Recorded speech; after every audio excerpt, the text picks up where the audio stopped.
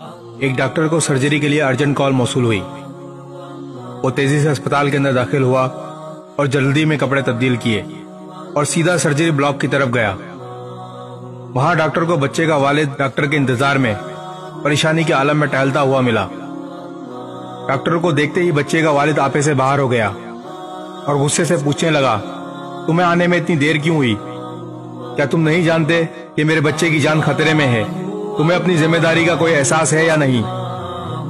Doctor ने मुस्कुराकर जवाब दिया, मुझे माफ़ करें, मैं अस्पताल में मौजूद नहीं था।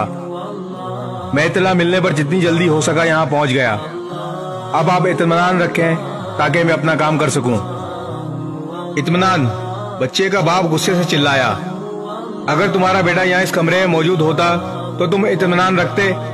अगर तुम्हारे बेटे का इस वक्त इंतकाल हो जाए तो तुम क्या करोगे? डॉक्टर ने एक बार फिर मुस्कुराते हुए जवाब दिया, हम मिट्टी से बने हैं और हम सबको मिट्टी में ही वापस जाना है। आप अपने बेटे के लिए दुआ करें, हम अपनी पूरी कोशिश करेंगे। जब खुद पर ना गुजरे, तब नसीहतें करना आसान होता है। बच्चे का वालिद जेरे लब बड़बड़ाया। सर्जरी में कुछ घंटे लगे, डॉक्टर खुशी से बाहर आया और वालिद को खुशखबरी दी कि आपका बेटा आप खतरे से बाहर है। जो भी सवाल हो, नर्स से पूछ लें। और तेज़ी से बाहर की जानी भागने लगा। वालिद ने नर्स को देखकर शिकायत की कि डॉक्टर इतना अकड़ू क्यों है? क्या ये कुछ देर रुक नहीं सकता था कि मैं अपने बेटे के मुतालिक बात कर लेता? नर्स ने आँसू से सर चेहरे के साथ जवाब दिया, डॉक्टर को जब कॉल की गई तो वो तदफीन में थे। कल एक हादसे में इनके बेटे का इंतकाल हो गया।